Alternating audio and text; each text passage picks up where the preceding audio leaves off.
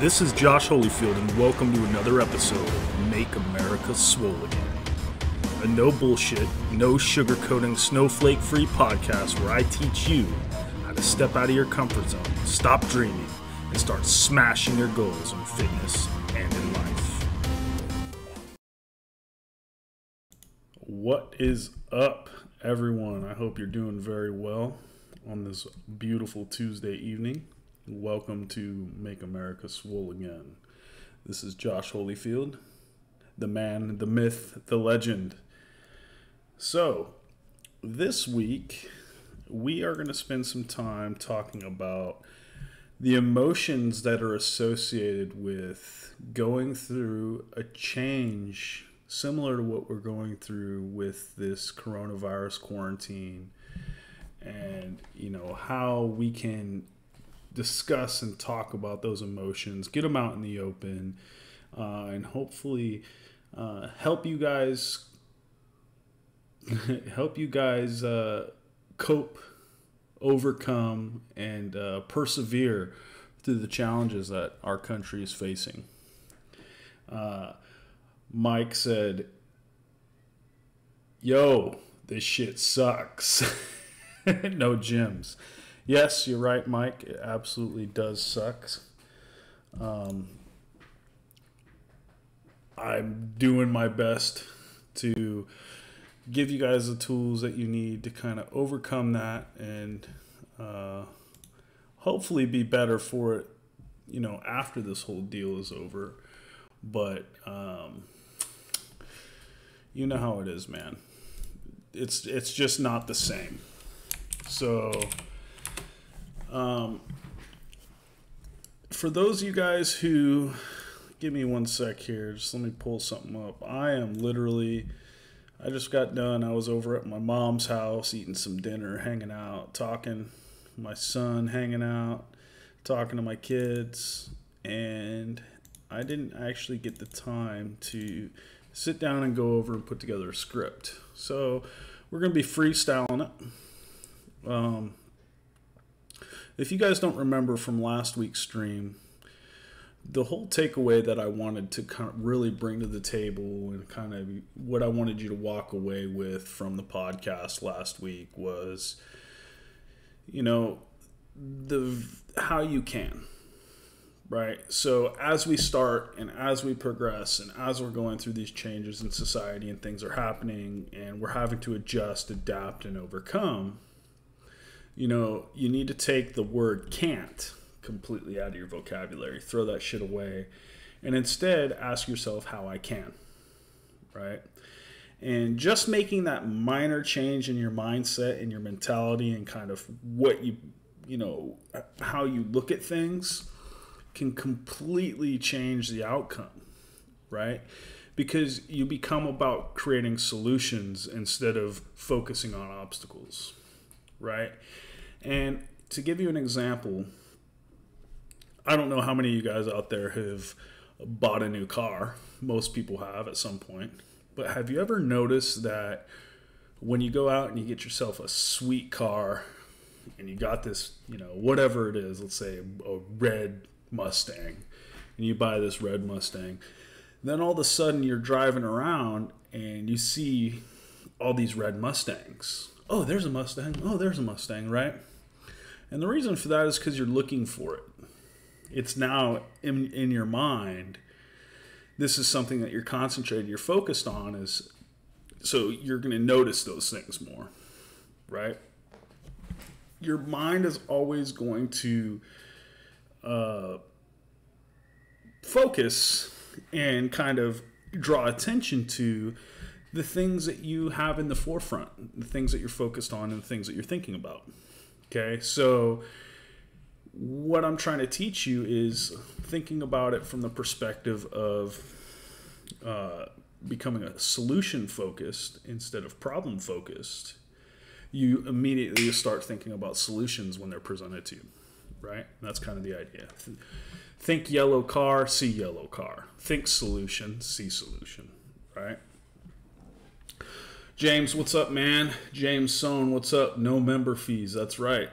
Uh, damn, we got three Jameses in here, back to back. Boom, boom, boom. James Jaramillo, how you holding out? I'm back in the mountains logging, so I'm getting my workout. Good, man. I'm glad to see that you were able to make the time to log in tonight and, you know, tune in and listen along. I'm going to jump on here real quick. And before I get into the, uh, the content for you guys, So I'm going to send out a quick Facebook message letting all the followers know that they can tune in and listen to me blab on for the next hour 45 minutes to an hour if that's okay with you. Like i said i'm a little bit behind. If you guys aren't aware um, the whole reason why i record this podcast live and i stream it is so that you guys can interact and talk with me. So if you have questions you have comments i try my absolute very best to respond to every single comment in here sometimes it gets a little bit crazy i've got admins in here who follow along um, and you'll get answers from them. Okay. So let's see here. The Make America Swole again. Don't mind my loud keyboard. Cast is live. Tune in and interact with me here. Boom. All right, let's send that off to you guys. So if you guys don't know and you're subscribed to my Facebook messages, what I like to do is I'll send out notifications for things like that, so you guys can get get a uh, get the get the skinny directly from me. All right. Let's see what we got here. Jim using 22 25 pound dumbbells and 50 pound resistance bands. Hell yeah, man. You can actually combine the use of the resistance bands with the dumbbells on some of your workouts. You should try it. And if you have questions, shoot me a message, man. I can help you out. We'll Help you out. Okay. James said new car wears off with the when those payments come in. Chris Griffith, thank you for all you do. Absolutely, brother. I'm happy to be here. Happy to be able to sit here and chat with you guys. Hey, Seuss from YouTube watching. Been waiting for you to go live. Hell yeah, man. I'm glad you're here. Uh, let's see. James, how the floor. Oh, dude, the floor if you guys can't see behind me, I've got this TV that I'm getting ready to hang up right here where I got my Josh Holyfield sign. I'm going to move my Josh Holyfield sign over the top of my desk here. I decided to move it. The desk actually used to be on the wall where the TV is, but if you look down real closely, you can see I finished the trim. The quarter round is all put down at the bottom of the baseboard there. And uh, the space is coming along real nice. Um, this side over here, let me see if I can adjust the camera. It's a pain in the ass to move. But that's my front door and that's an entryway. And then on this side, you can see the door there is a walkthrough. And, oh shit. Give me a sec here. Um, so what we're gonna do is we're gonna close it off so on the main entryway right there, we're gonna have some real nice French doors. And then this side, there's a closet right here and a little hallway. We're gonna close off the other end of the hallway. It's maybe just enough space for a person to stand in. And then that's gonna be, a, and so it's gonna be basically a den in here or an office. Uh, the plan is for us to make this junior's bedroom because this is the only space that is downstairs. All the other bedrooms in my house are upstairs. So downstairs is the master bedroom. This what's supposed to be is the dining room and then the living room and the kitchen and then the and then the mud room. So um, the plan is to turn this into his space. I'm probably going to move upstairs, move my recording space up there really haven't figured out how we're going to lay that out and what we're going to do and what the plan is. But the floor is done.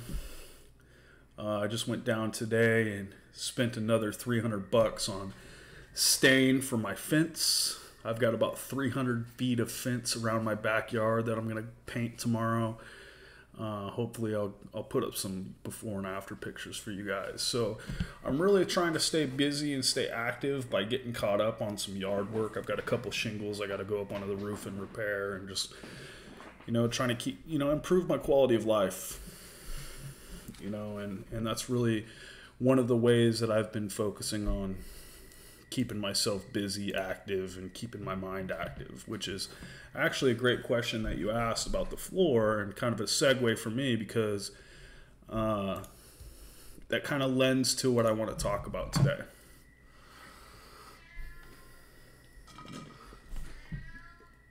Hold on, let me let the cat in so you guys don't have to listen to him whine at the door.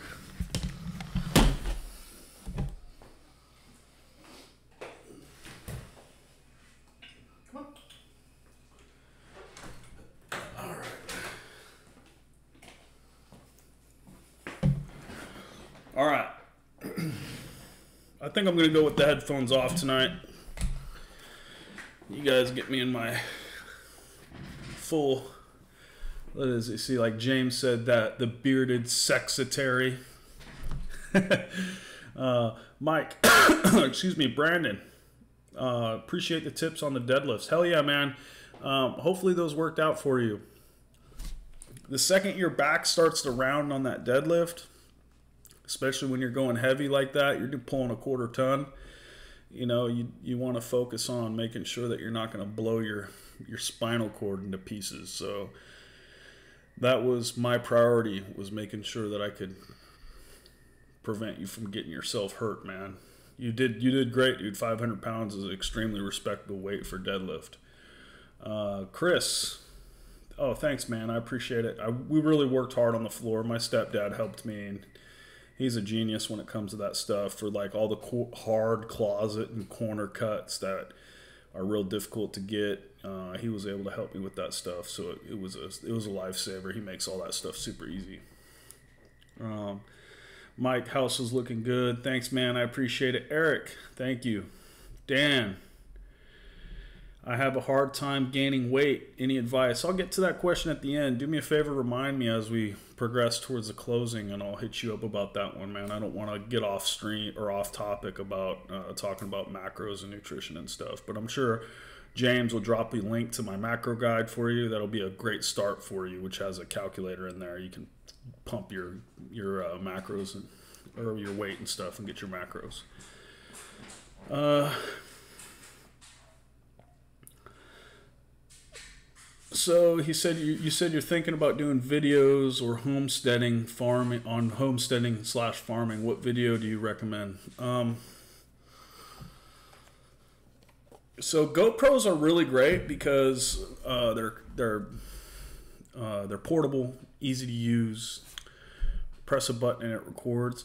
The only thing that you have to be aware about when you're using a GoPro is uh, two things. The first thing is is the battery life sucks uh, especially if you're recording longer videos. And then the other thing you have to be aware of when it comes to a GoPro is it comes by default with a fisheye lens, which is a wide angle lens, right? So if you ever look back at some of my older squat videos, gym videos, you'll, you'll notice the difference where the camera you can see is showing like everything to the side of me, right? That's on a GoPro. So sometimes it's really good, sometimes it sucks. Uh, but to be honest with you, man, if you're just getting started and you're, you know, wanting to make videos, the camera on your iPhone or Android is probably sufficient. And don't mind the, the cackling from the from the dogs, uh, dog's feet as or nails as he's walking through my house. He's literally doing laps. Go lay down. Um, we uh so the ground the floor is too slick for him. So when he tries to stand up and he's laying down on the floor he can't stand up. He's too old. He slips. So i actually had to go on amazon and buy him you're gonna laugh. I had to buy him socks with grip on the bottom of them so he can walk around the house without sleeping.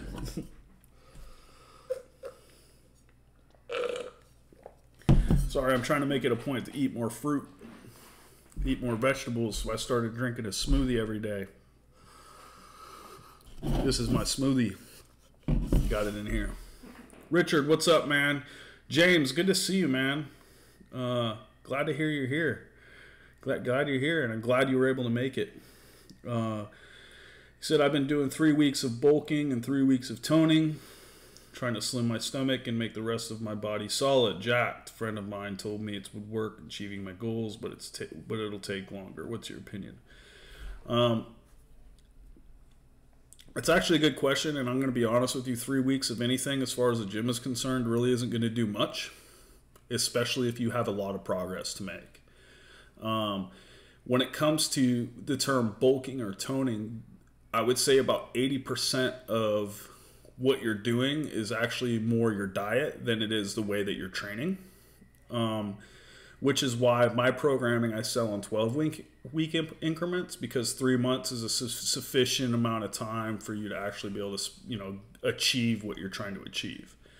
Um, my advice to anybody who has fat to lose is get yourself to a place where you're comfortable comfortable with your body fat percentage and how you look uh, as far as your your you know total fat is concerned, and then you can look at bulking because if you were to do a three week bulk and then a three week shred and then a three week bulk, uh, the three weeks of bulk is just going to basically counteract as far as fat loss is concerned uh, the the shred that you did right? So the whole idea with you know the macros and like i said i don't want to get into too much detail is when you're bulking you're eating in a surplus which means you're giving your body more than it needs when you're shredding, you're you're eating in a deficit, which means you're giving your body less than it needs as far as carbs are concerned, so that you're going to burn fat.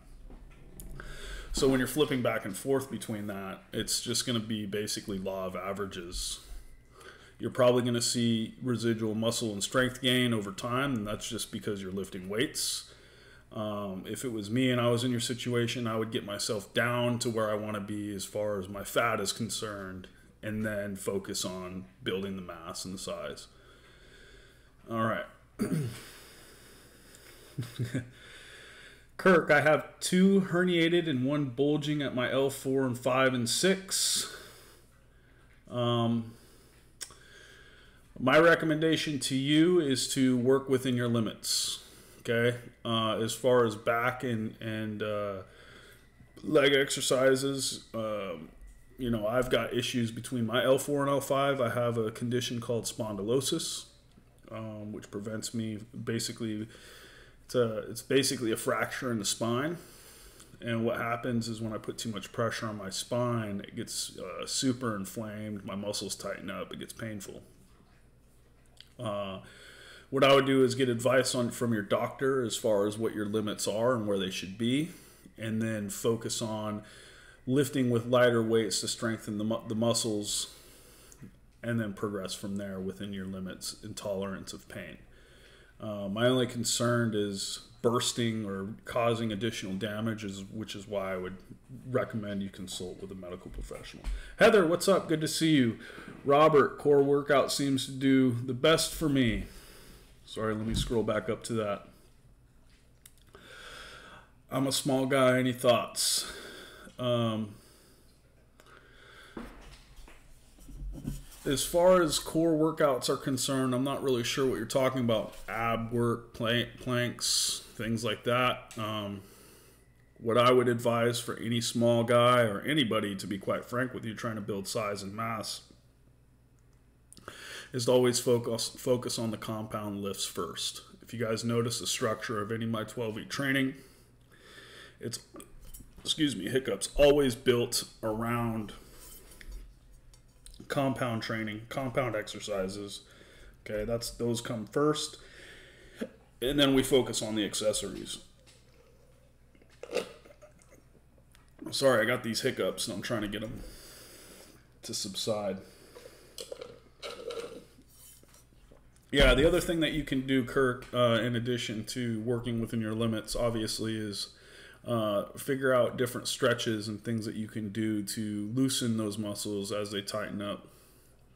Uh, one of my personal training clients we do one on one with online, uh, he was having issues with uh, pinching in his hips when he was trying to do squats. And we were able to find out and create a stretching regimen that he does before leg day that um, basically it was so bad where he was unable to put his heels on the on the ground when prefer, performing a squat.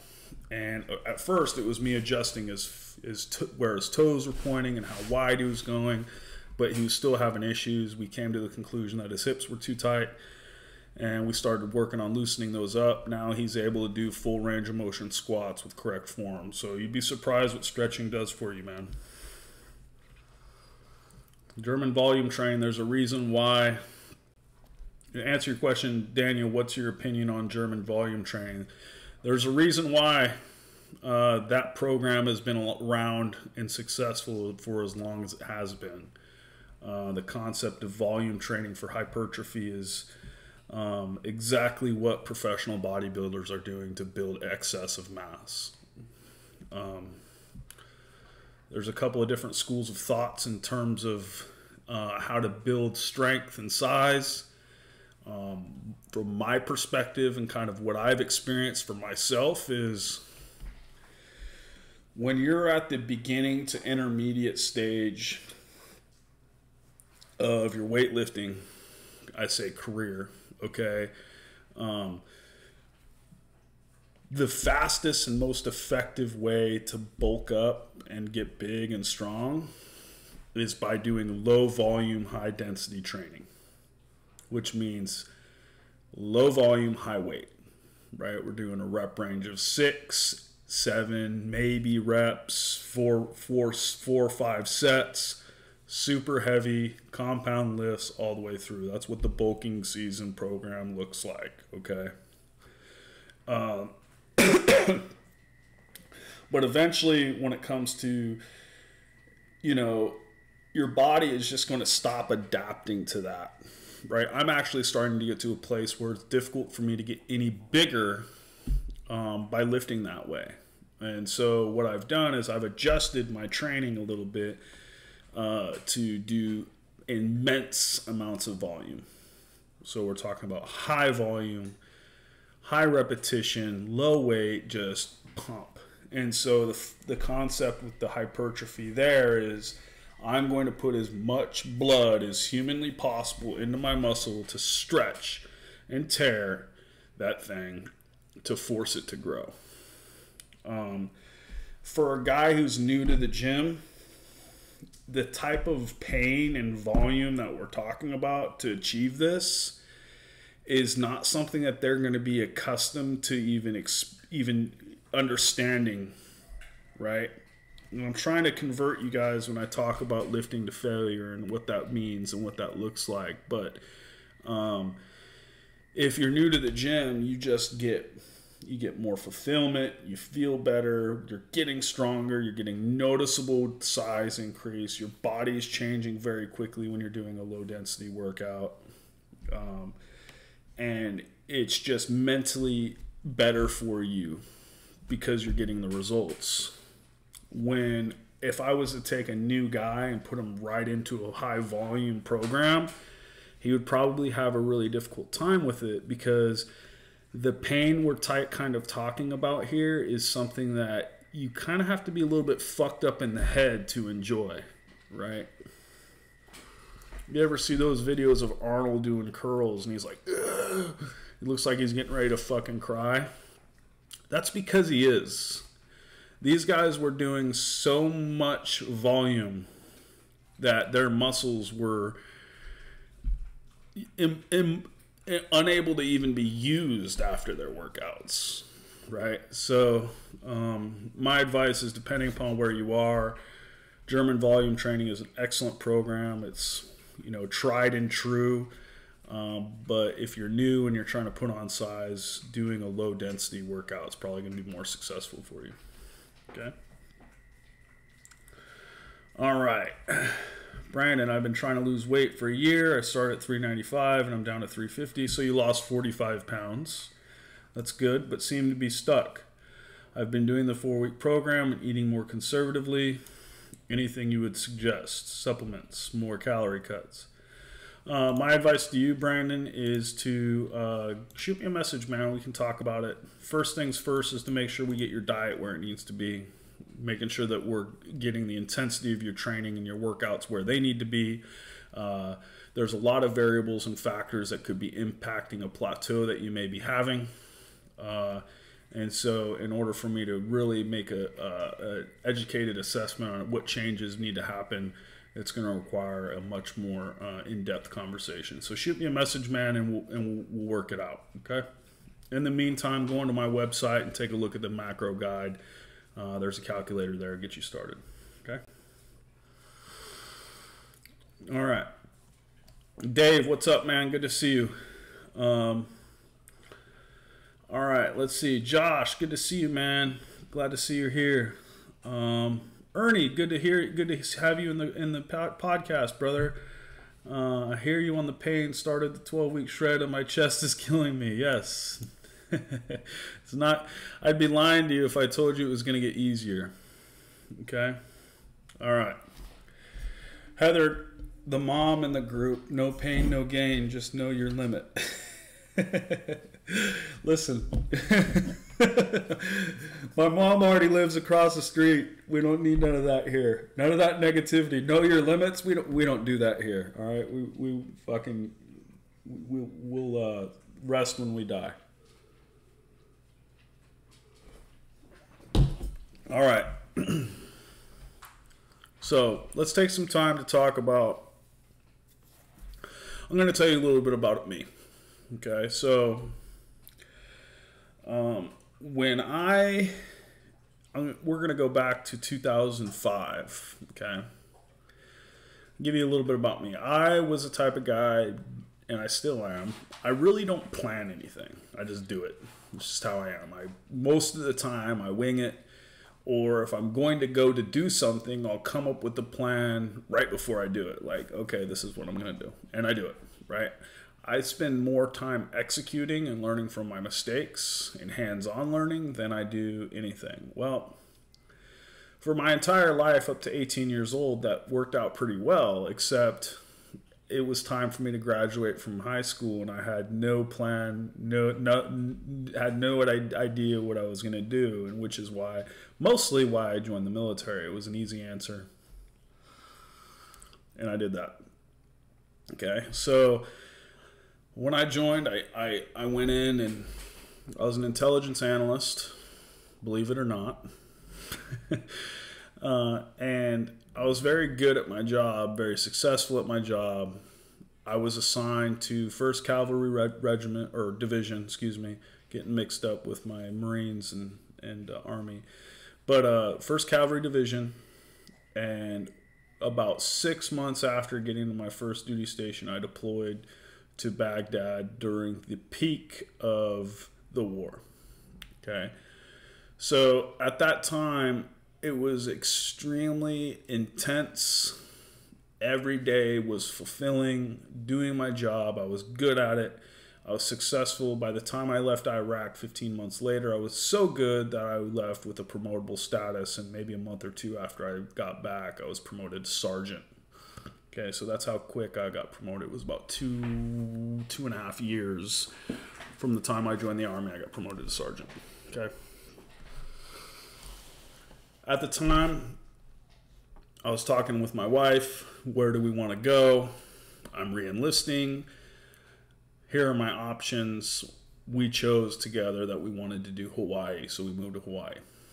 When I got to Hawaii, I was part of a unit called the 94th Army Air and Missile Defense Command, which, uh, to translate for you, was basically a retirement castle for a bunch of senior non commissioned officers and officers, pushing 20 years, 20 plus years, getting ready to move. Wasn't really much action.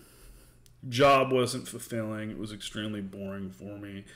And I got severely depressed. It, it, impacted my relationships, impact, impacted my performance, impacted my my own well-being, my fit, fit my physical well-being, the whole nine yards. And the reason why I had such a hard time was because I was unable to adapt.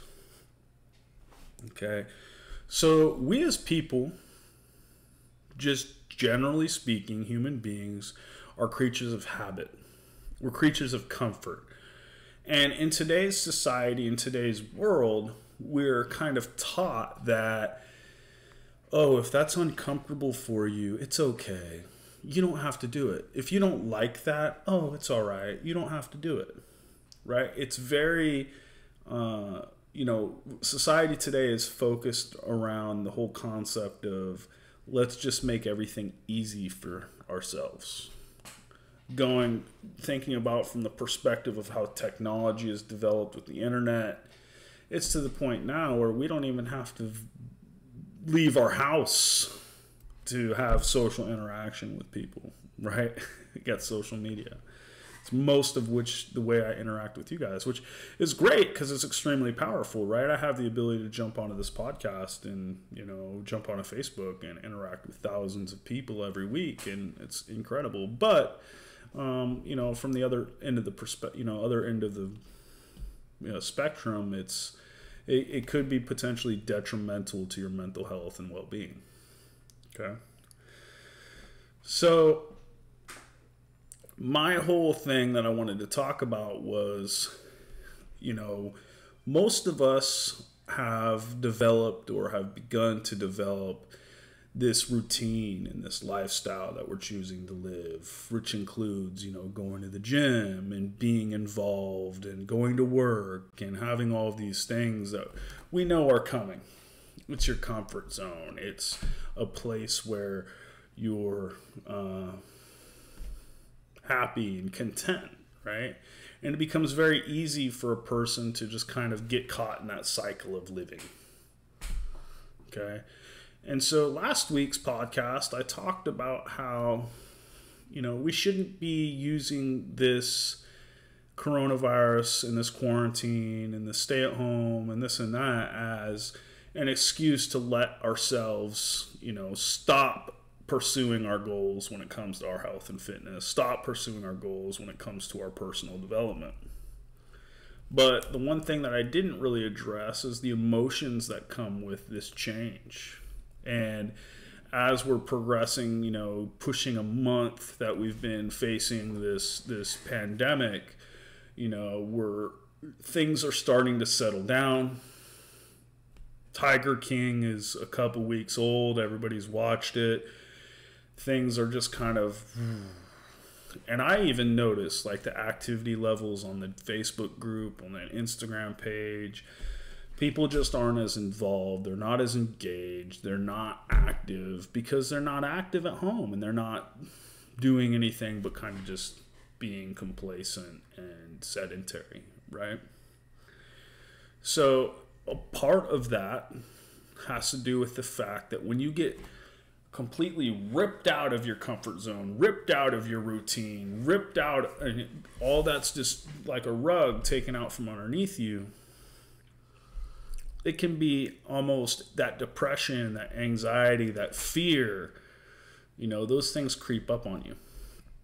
And next thing you know, you're sitting there and you're just like, man, like today, I'll even give you an example. Today, it was about five o'clock. I cooked myself some dinner, ate my dinner with my son, and we're hanging out. And I was talking on the phone with the lady, and I was like, man, uh, I'm gonna eat this dinner and then I'm gonna go work out. I didn't end up working out. Why? Because it just wasn't convenient for me to go through that at that time, and it, I allowed that emotional kind of complacency to take over and that depression to take over and put me into kind of that funk. And so I wanted to take some time to talk to you guys about this depression. And this is something that I face and personally fight on a daily basis. I have uh, I, I I fight depression. I fight anxiety. It's pretty bad sometimes. What's up, Bill? Good to see you. Um, and I've talked about it before as far as those emotions are concerned, and you know, obviously, no, you can't control those emotions, especially when it's a diagnosis and you know it's something that you have. But what you can do is you can mitigate. And the way that you mitigate the onset of those types of negative emotions is by keeping your mind actively engaged in something right so for me the longest for the longest time the way that i've fought this demon is by keeping myself focused on the gym pursuing my goals actively when it comes to my professional career my career pursuing my goals as far as the growth of my businesses are concerned.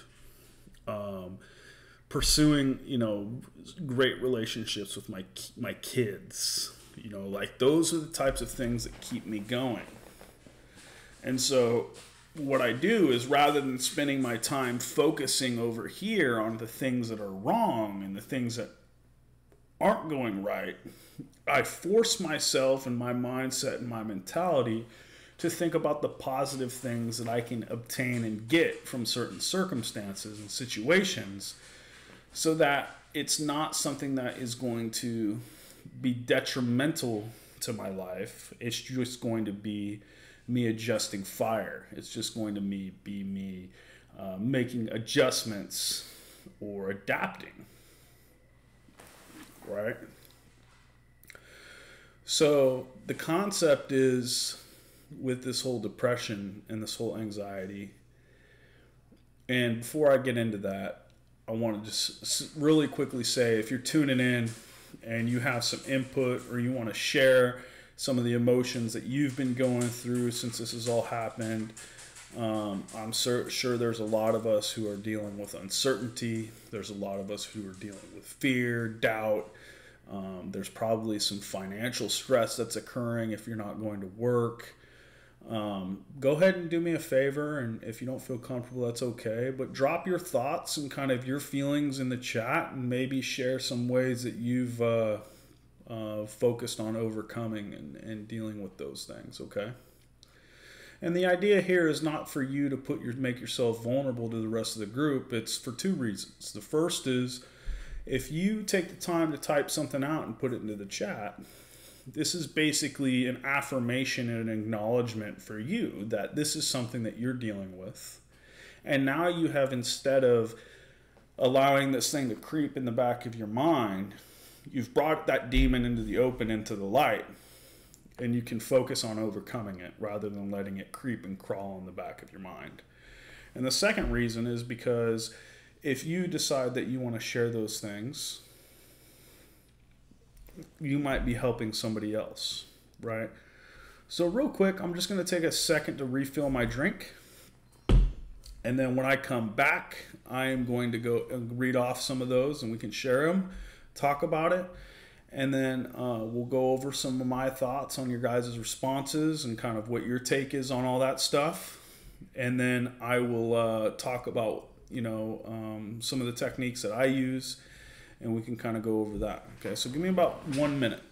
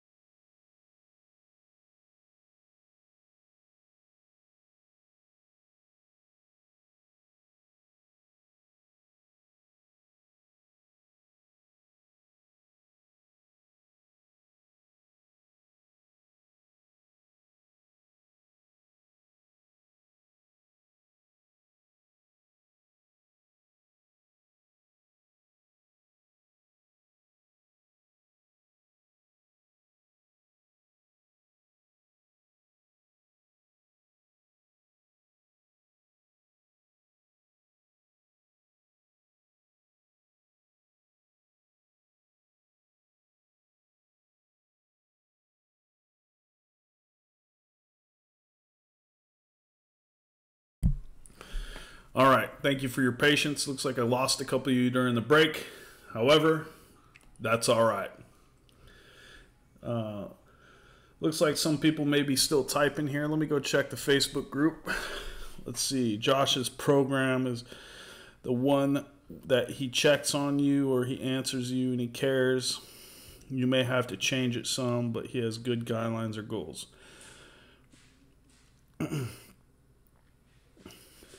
All right. So I'll, I will. Uh, I'll hang out here and give you guys an opportunity to finish typing and going through. Kirk said, "Mine is going through divorce and trying not to have memories overwhelm me, especially being quarantined. I was going to the gym with my friend five days a week at six and staying active. Now everywhere I look or any song I hear brings her back into my mind, and I get depressed. So uh, so I'm going to open up to you a little bit. Uh, this isn't something I, I normally do. Um, back in 2017, I went through a pretty traumatic divorce. Um, and basically, the, the, the circumstance of that divorce uh, revolved um, around some infidelity in the relationship uh, it was pretty pretty painful for me to undergo and experience that that degree of betrayal. I had been married for 10 years with two kids and it was a it was a huge adjustment for me okay um, now i'm not going to say that my relationship with you know my ex-wife was perfect um, but what I will say is that, you know, it's when you're in the moment, no matter what it is, it's very easy to take the positive and the negative things that you have from a relationship for granted. And you think and you focus on where you where you're at right now and how you feel right now. And I know for me, it was challenging to overcome those emotions, very similar to what Kirk is talking about, because um, there was just so much. What there's uncertainty, what's going to happen, how are things going to turn out. There's, you know, depending upon the circumstances of your divorce, you may miss that person. Um, you spent so long with another human human being where it almost feels like your life won't ever be the same without them, or there's so much change that has to occur that, um, you know, uh, there's so much change that has to occur that's almost scary because there's so, also uncertainty that comes with that. Right? Hi, Baba. Um, so, since you know, pretty shortly after the divorce, I, I I met my current wife and you know, I look back and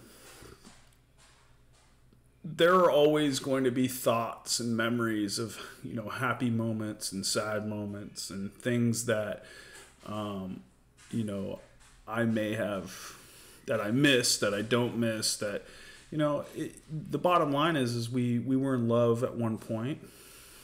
Um, I still, you know, have those memories of the things that happened in our relationship, and we have children together. Um, so what I'm going to tell you, man, is going going through divorce. I wouldn't wish that upon any person because it's such a challenge. It's so difficult, especially when it's under dire circumstances. However, um, one thing that I did was I used that experience as a catalyst for growth and change in who I am as a human being.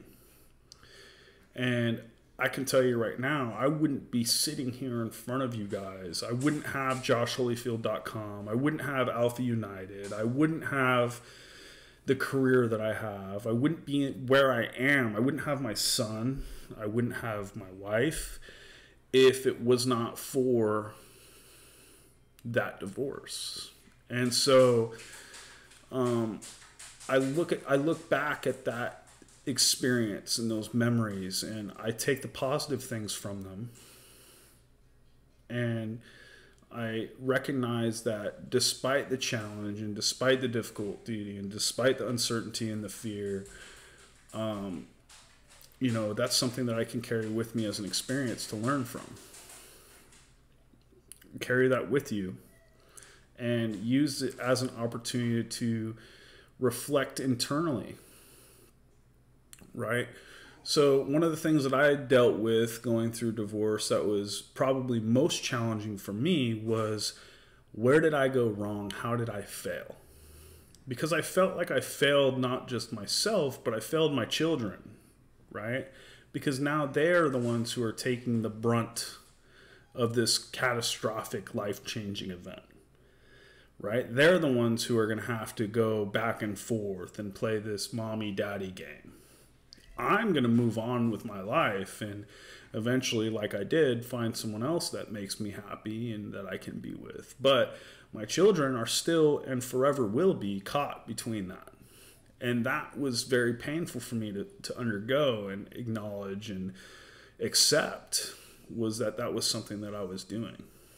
Um, so my advice to you going through that is use your divorce as an opportunity to look at yourself in the mirror with no mask, with no facade, be completely vulnerable, open and honest with yourself, and ask yourself how you could have been a better person, how you could have been a better partner, how you could have better acknowledged the needs of your partner, and what you could have done to be a better person on your side of the relationship that may or that may have at least assisted with mitigating the failure of the divorce right? Because that's what divorce is. It's a failed marriage and it takes two. Um, so going through a divorce is challenging because it's hard. You want to place blame you want to point the finger well she's this well she's that well he's this well he's that.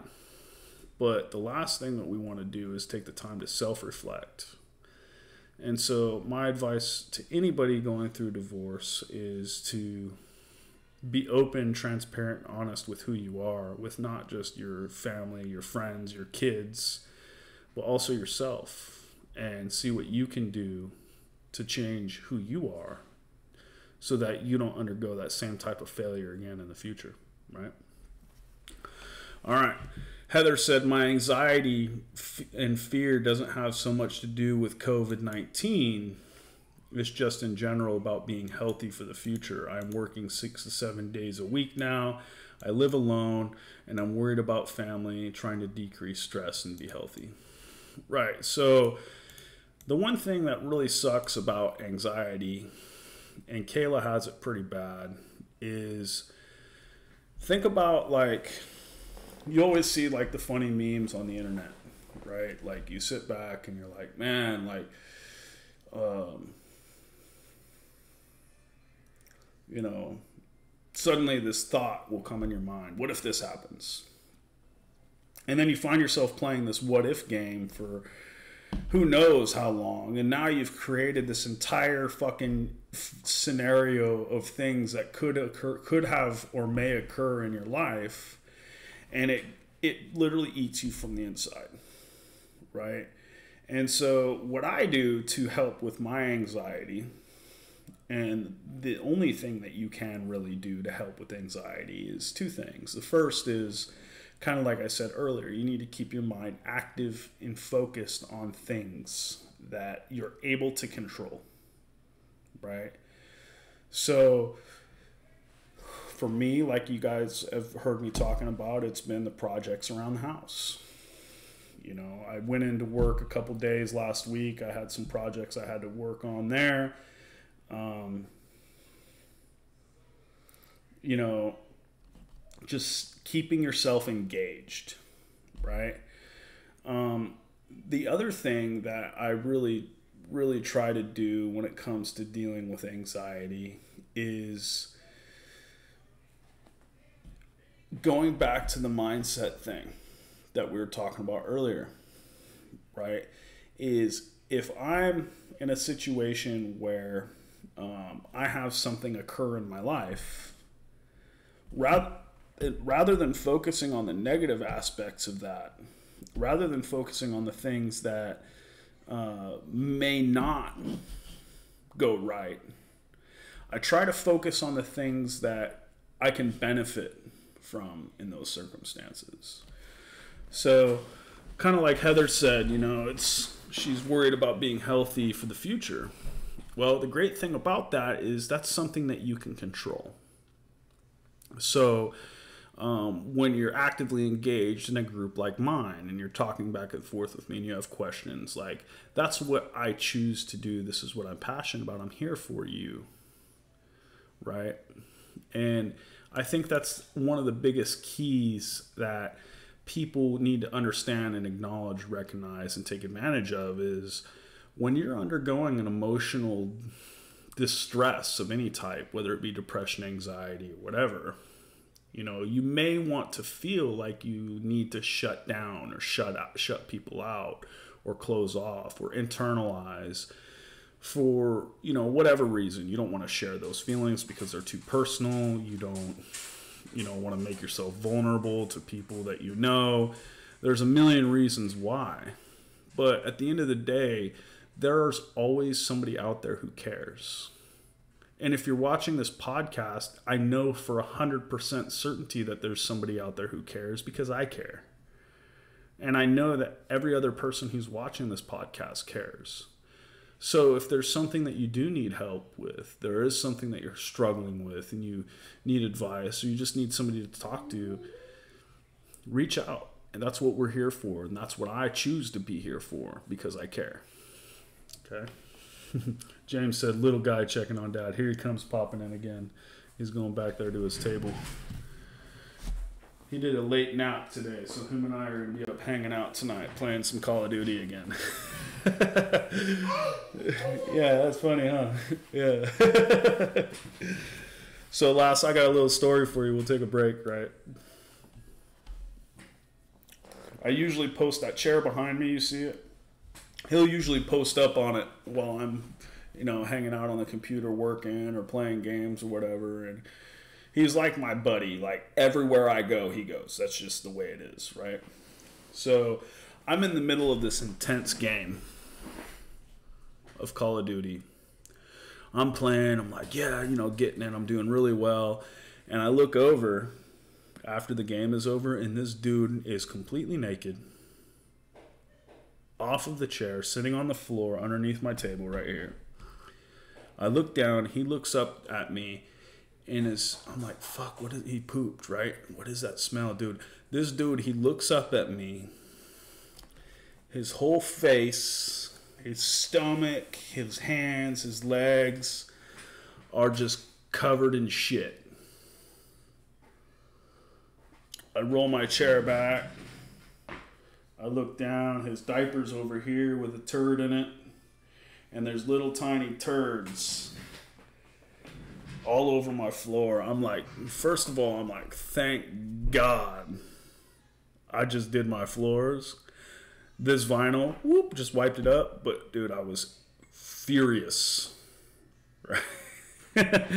I was I was so mad. I'm like, dude. So I literally picked him up, took him, put him in the bath. He's freaking out. Like I'm mad. I come out here, I clean everything up. I go in there, I wash him off. Dude, I my daughters didn't do that shit. Like the absolute worst that either one of my daughters did is she would get put on timeout and be standing on the wall, and she would spit on my wall because I put her on timeout, and she would get in trouble for it. This dude, he's like exceeded every expectation I have as far as like how bad a toddler can be. He's insane. I'll never forget the shit body story. Bill said, out of every, everything bad that comes, something good, accept the change and roll with it. Yes, sir. All right. Kirk, good night, man. Hopefully, uh, my, the advice that you got from us helped out. If you have any questions, brother, make sure that you shoot me a message, dude. All right. uh, okay, gotta ask what your cheat meal or snack is. So, um, I've really, really, really, really, really been focused on trying to trim down. Um, if you guys haven't noticed, I'm not super big on sharing photos of myself shirtless. Um, and the reason for that is because I just don't feel that I should need to use my my abs and you know my body to sell myself, my products or my results. I think what if I'm going to be successful as far as my business is concerned, um, the results of my clients should speak louder than my own personal results, right? Because you can't question my my clients' results. You know, I've got a number of one-on-one training clients that are, you know, I'll give you guys an example. And if you're part of the Facebook group, you know who this is, Art Perez. Um, Art Perez just clocked in today at 229 pounds. That's the lightest that man, he's in his 50s, 40s that's the lightest that man has been since high school.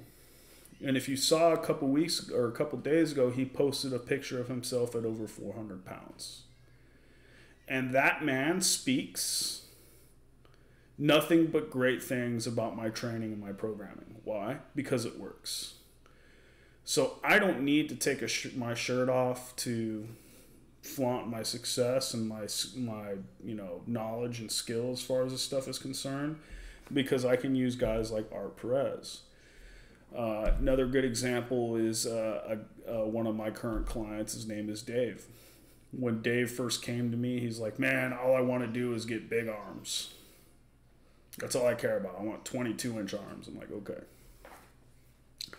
And uh, I've been working with Dave for about what is it, 12 weeks now, one on one. And Dave has seen an immense strength increase in every lift, including his legs. We fixed his squats and his hips. So now he's able to actually squat and do legs. And he's progressing faster than anyone I've ever seen as far as strength is concerned. I don't know how many of you guys are out there who can military press strict over 200 pounds, but that man can do it and it's from my programming, right? So I have guys like that, success stories who continue to promote my business and my my training so I don't need to promote my body to do that, right? Um, but to go back and answer your question, what's my cheat meal? So I'm really, really, really, really bad about binge eating carbs, right? So I'll be on a really good diet and then I'll wake up at like two o'clock in the morning, or I'll be awake at like two o'clock in the morning, and I'll go into the kitchen and literally just stuff myself, my face. Right now, my my my snack, my go-to snack has been um, has been uh, these little peanut butter pretzels that you can get at Sam's Club. They come in a big fucking tub like this and uh, they got they're just pretzels with peanut butter in them, dude. I'll literally fucking eat those things by the handful. I'm so bad about it.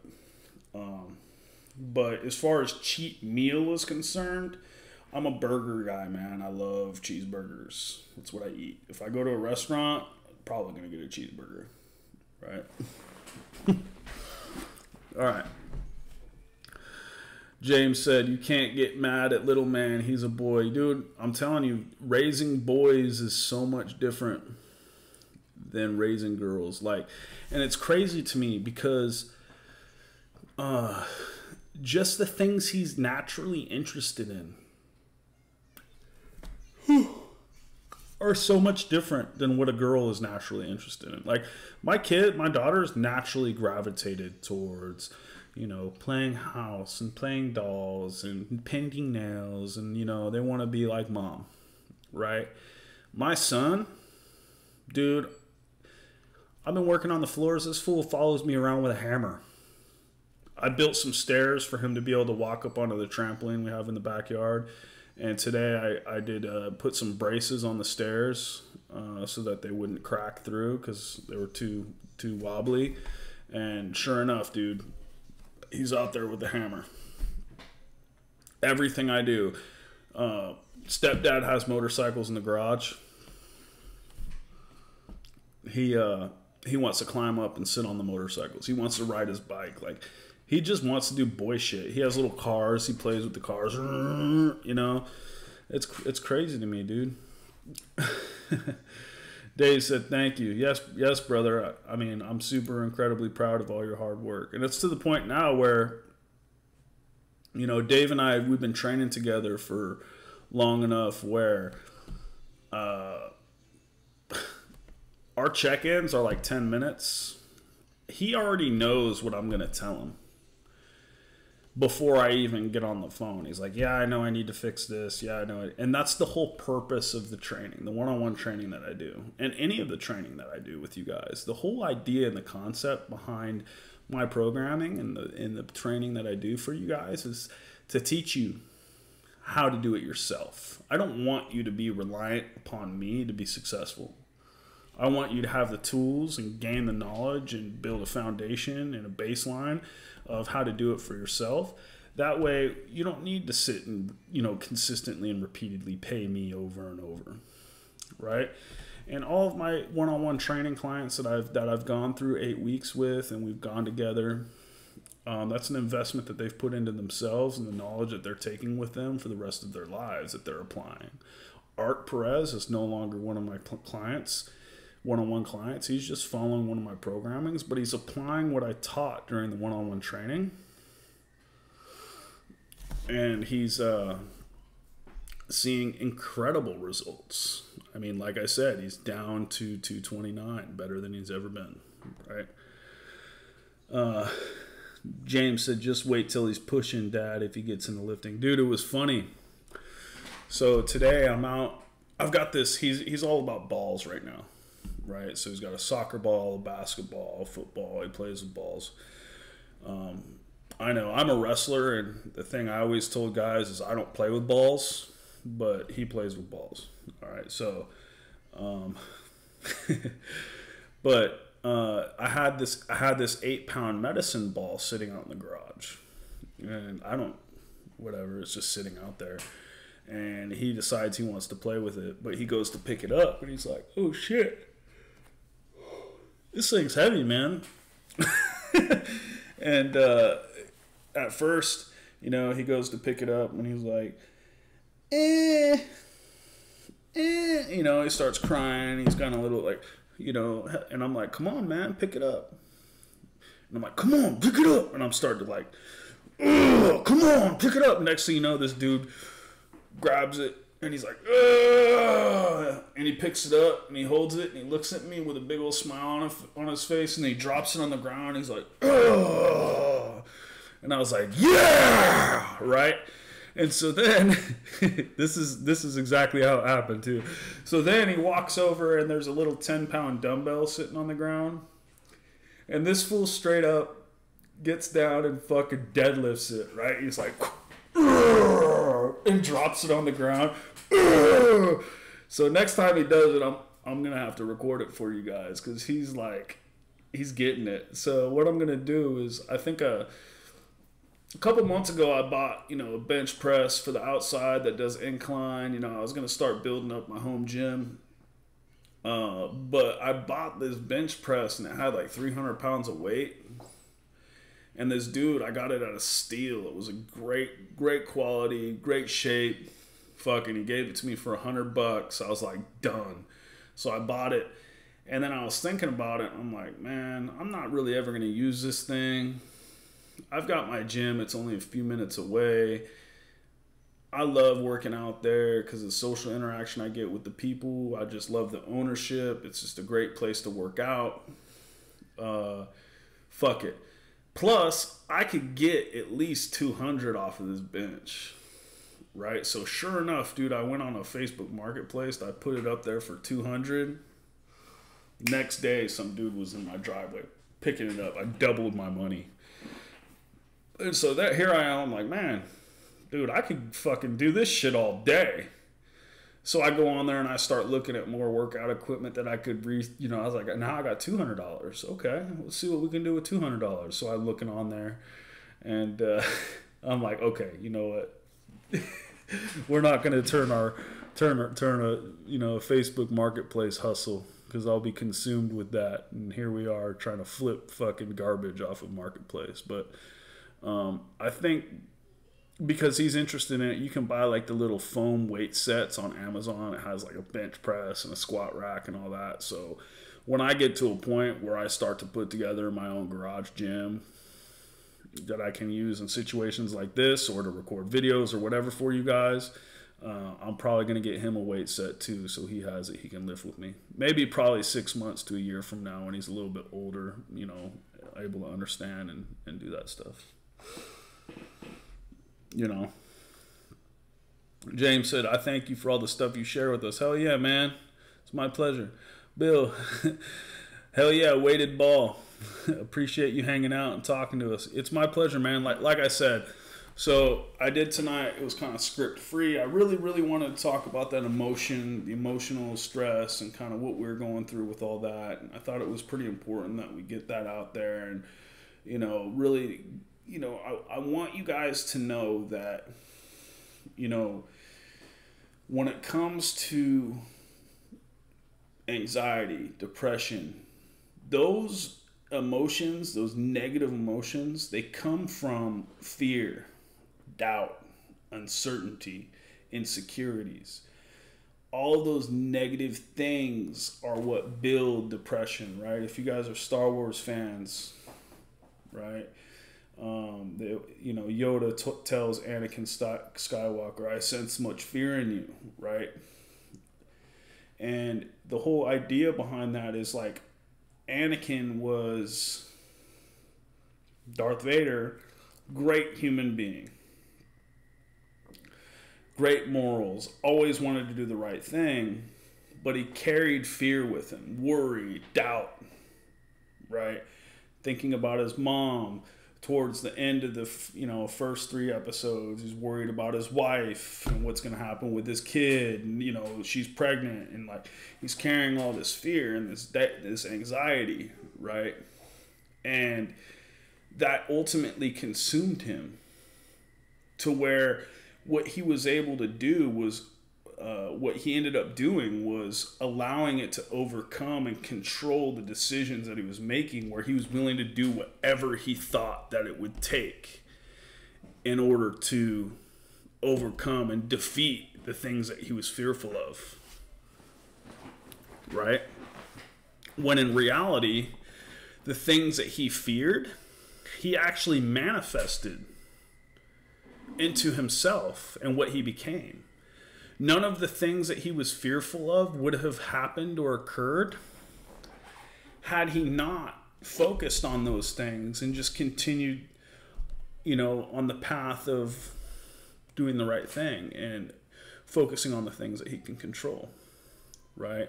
and that was how Darth Vader was born, and that's the story of you know the star, the birth of Darth Vader and Star Wars and the dark side and da da da da, right? But the idea and the concept behind that plot and that story is very important because it also applies to us as people, right? Give me a second. What you doing, boy? Don't pull that. You're gonna knock it down, buddy. You want this? You're welcome.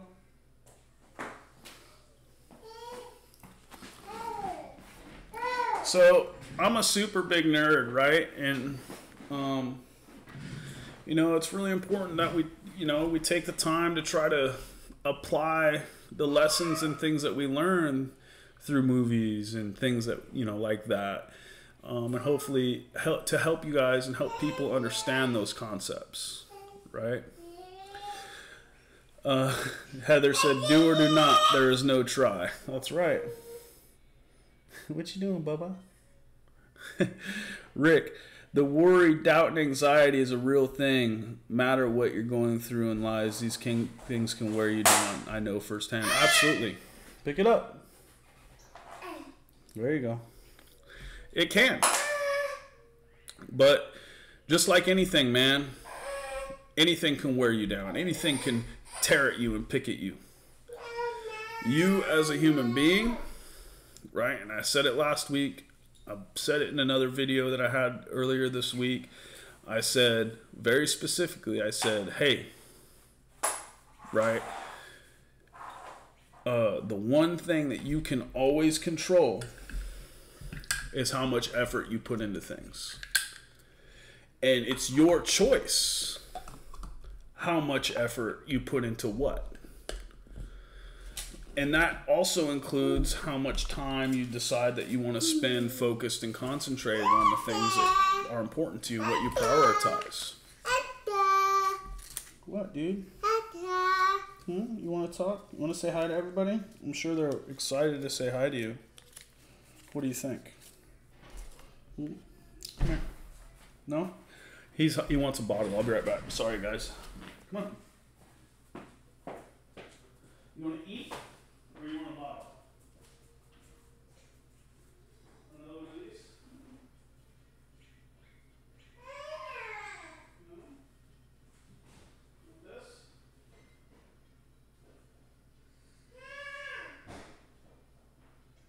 You say bottle? Bottle? Say bottle. Say bottle, get your iPad. Hey, Joshua. Junior. Here.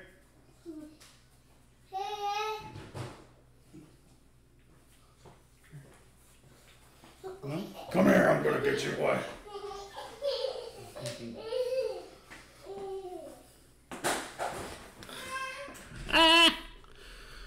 All right. Get it. So he's doing this thing where he's almost to go get it. Go get it. He's almost two. And uh he is like to a point now where I can talk to him just like I'm talking to you right now, and he understands most of what I'm saying. He totally gets what I'm saying. Like right now, he knows I'm talking about him.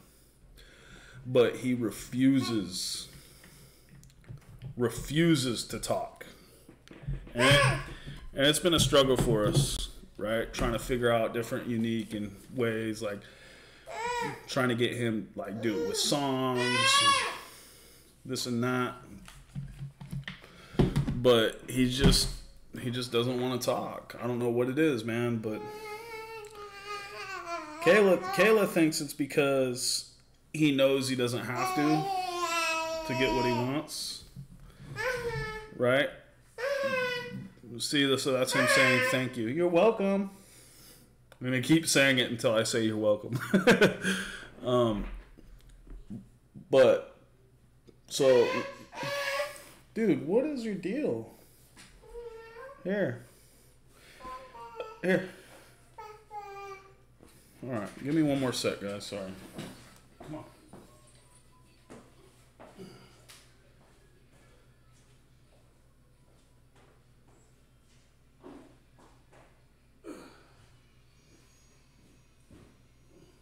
Want this one? You got two.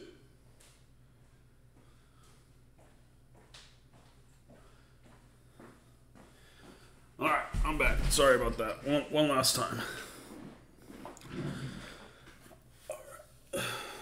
But anyway, like I was saying, guys, like you you have a choice, right? What you're focusing on. You have a choice what you dec- where you decide to put your energy. And yeah, everybody's got their anxiety. Everybody's got their their demons that they struggle with. But here's the thing, right? What I try to do is I'm I'm a disabled vet, and I deal with these things, uh, you know, and they're medically diagnosed. Okay, um,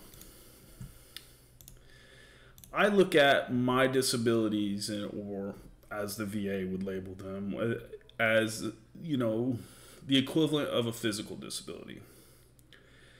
So if me as a person, I'm missing a fucking leg is that going to stop me? Right? No, it's not. If I have reduced function in one hand because whatever, right, from a combat injury, am I going to allow that to stop me? No. And you see these athletes and these people out there who are overcoming these insane feats of just absolute courage and just defying the handicaps that they have. Right? And um, those are disabilities. They're physical disabilities. Well, there are some folks with mental disabilities. And, you know, I will never let something stop me from achieving what I want to achieve and pursuing what I want to pursue. That just means it's going to be that much harder for me to accomplish what I'm trying to accomplish than the next guy. It's my handicap, right? Just like if I was missing a leg. If I wanted to be a marathon or super marathon runner and I'm missing a leg, I can do it. It's just going to be that hard, much harder for me. You see these guys doing handstand push ups on dip bars while strapped to fucking wheelchairs. And if there's a guy doing that, and I'm telling telling myself that I can't even fucking get myself out of bed to go to the gym because I'm depressed, there's something wrong. Right? And the great thing about the world is is we live in a place where you just take a second to look around and there are people out there every day who are overcoming these insane and just spectacular fucking achievements while dealing with handicap, right? And every single person out there who's successful, I can tell you right now, has a fucking story. And that story is going to have a lot of adversity. That story is going to have a lot of periods during their lives where they're doubtful, they're fearful, they didn't have, they're poor, they're broke, they're homeless, they were this, they were that, and they overcame those things. So, what I charge you with is if you're in a point where you have this mindset telling yourself you can't, take a look around. Because there's a thousand other people out there who suffered what you are suffering, or even worse, who did. So, what makes you different than them? It's your mindset. That's what it is. They chose not to give up. Because just like I posted on Facebook and Instagram the other day, you can't lose if you never give up. Ever. Right? Rick said it it is true I went through divorce and took a lot out of me. I'm now working to get back to where I feel good about myself. My kids are my number one focus. Thank you, Swole, for encouragement. It helps a lot more than words could ever say. It's my pleasure, man. I really just want to share my experiences and my knowledge with you guys, and hopefully that you can get the best benefit from it. Bill, we'll do it together. That's right, bro. That's why this group is here. That's why this podcast is here, so we can do this shit together, right? James asked if I was having my surgery. Uh, what are my plans on my program? Um, so, Maverick, go lay down. Uh, so I got a call from the surgery center last week, and actually two weeks ago. My surgery was supposed to be today.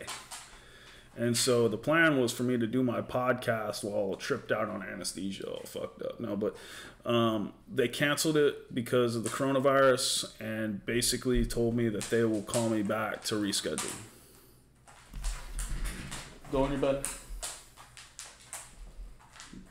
I can't wait for him to get his shoes, not because he doesn't slip, because I don't, have, so I won't have to listen to his nails anymore. So I also had like an optometrist appointment that was scheduled because I needed to renew my prescription. They canceled that. I'm literally wearing my last pair of contacts that are now overdue to be changed for like a month now. My surgery was canceled, which means I'm going to have to do two more appointments just to get the surgery done. The first is going to be the pre op, and then I'm going to have to do the surgery again. Um, I've had tons of medical stuff that's just been put on the back burner because of this thing, which really sucks.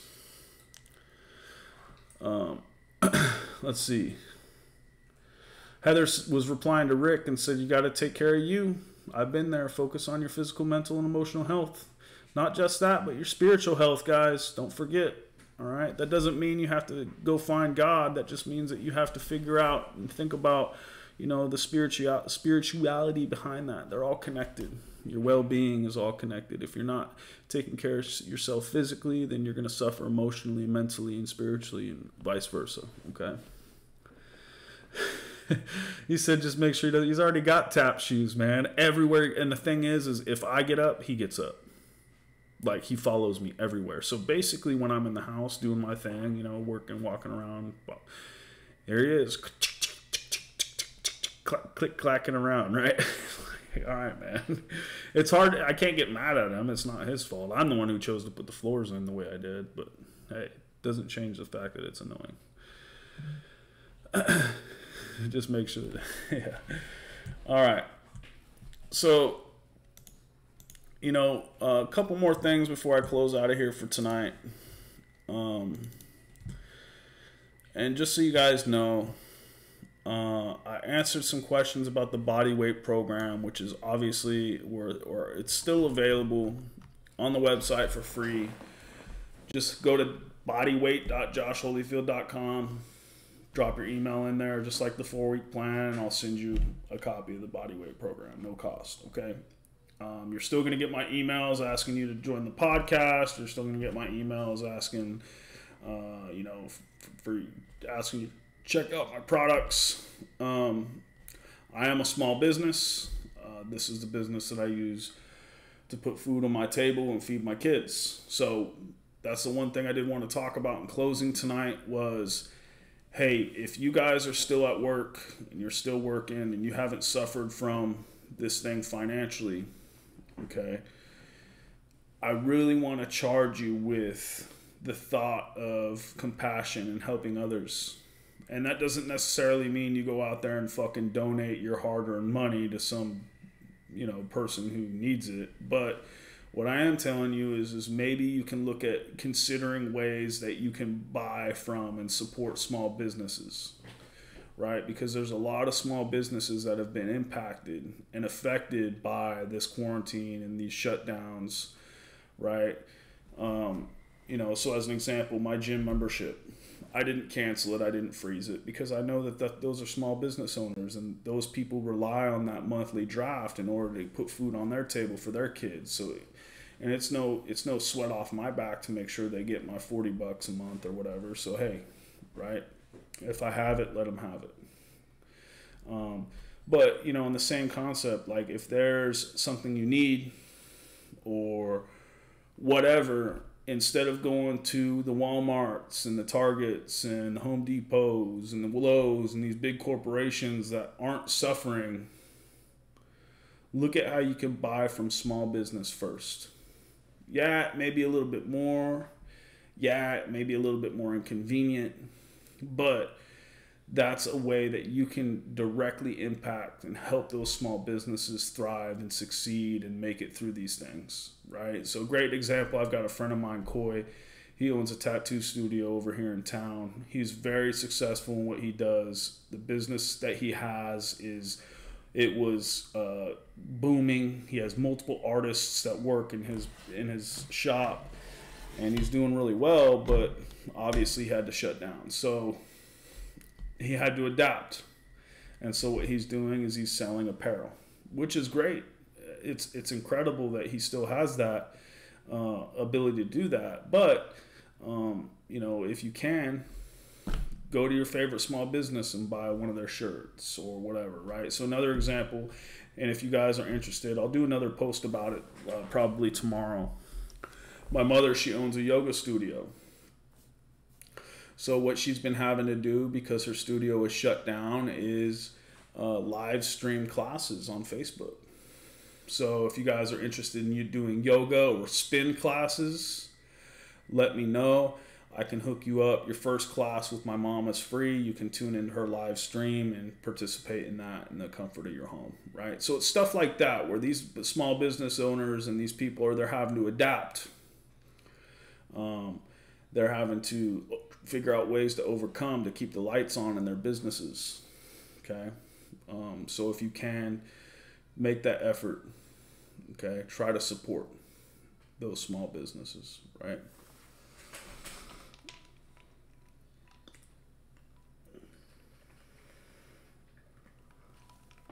If you want one of these decals custom made by me, they're on my website. They're like three bucks. I'll send it to you. They're pretty badass. All right. Um, a couple more things. So we've only got about a week left on the supplement giveaway that's happening on the Facebook page. Okay, if you haven't already taken the time to go over there and enter, just head to Facebook or Instagram. You can find the giveaway post on the Facebook page. It's pinned at the top. So all you got to do is go to the Josh Holyfield JJH Lifts Facebook page, and you'll see that giveaway in there. Okay, all you have to do to enter that giveaway is to share it, follow my page, and tag two of your friends, and you're entered. Okay. Make sure you tag your friends in the comments, not in the share, because some people have private profiles, so I can't see if you actually tag your friends. Okay. Plus, the idea is to try to get your friends to share it too. Um, if you guys don't know, I also post the audio for these things on my website as well. So if you want to catch up, listen to in the car, whatever, you can always go to podcast.joshholyfield.com or you can find Make America Swole, America Swole Again on all of your radio stations, pod, uh, iTunes, Spotify, iHeartRadio, etc. Okay, so uh, we do the audio and the video. So what I do after these podcasts is I go in and I cut out like all the breaks and all that stuff, and then I put the audio up for you. Um, one more thing, congratulations to the three winners from our push up competitions over the last two weeks. Uh, Wyatt Huber, he won the push up challenge on the Facebook group. Uh, we didn't get enough female entries for the for the females in the Facebook group, so I wasn't able to do a female bracket. Uh, but I did the female bracket on Instagram, and Piper Dominguez, she won that uh, that challenge with 108 push-ups on the final day. It was pretty incredible seeing her do that. Um, and then Sandoval Fit, he is a personal trainer who operates out of Albuquerque, New Mexico. Also won the male bracket on Instagram. So congratulations to the three of those guys. Their shirts have been sent, and they all got free Josh Holyfield T-shirts that they can wear and rep. Okay. Um, thinking about doing a pull up competition. I know the other day I said I was going to post the bracket for it, but I'm kind of uh, willy nilly about doing the pull ups just because uh, not everybody has a standard pull up bar, so it's going to be difficult to rate and grade people doing pull ups off of like rafters and shit, right? So um, not really sure if I'm going to move forward with that just as I spent more time thinking about it, but I definitely will be doing another tournament of some sort within the next few days. So make sure you stay tuned on Instagram and Facebook. I'll be posting those up. Okay.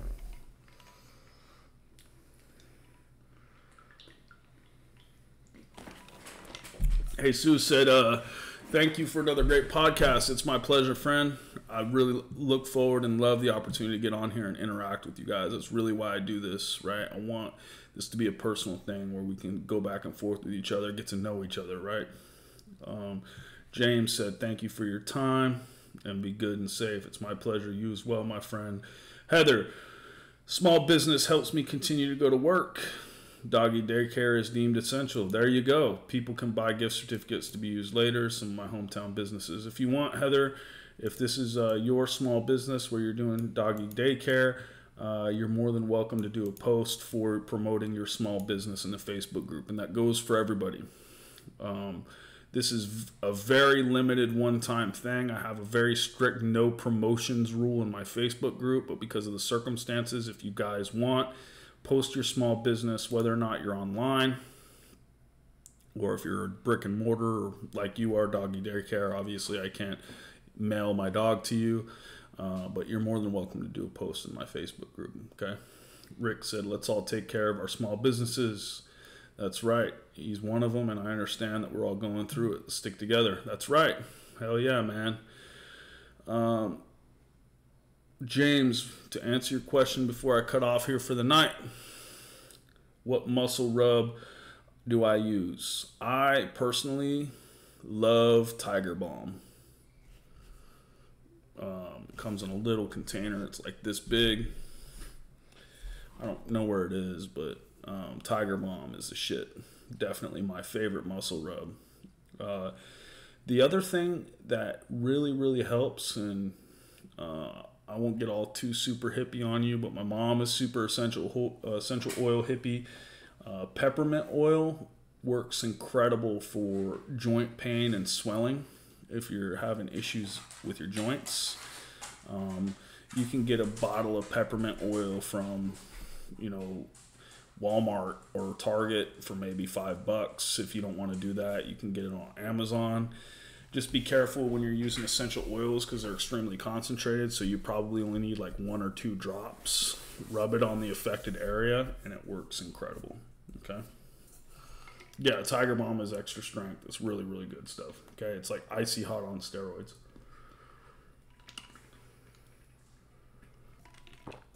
All right, guys. Without further ado, it's been a real, real pleasure tonight sitting here and talking with you. Um, and uh, I will definitely come better prepared next week with a script for you. My goal, really, uh, every, at least every couple weeks or every few weeks, is to just freestyle it, spend the evening more bullshitting with you guys and talking back and forth, um, rather than, you know, uh, going off of a script and feeding you guys my platform of, you know, perspective. So. Um, hopefully, you guys enjoyed. I really, really do enjoy talking back and forth with you. And uh, be safe, be sanitary, and stay vigilant. Have a wonderful night.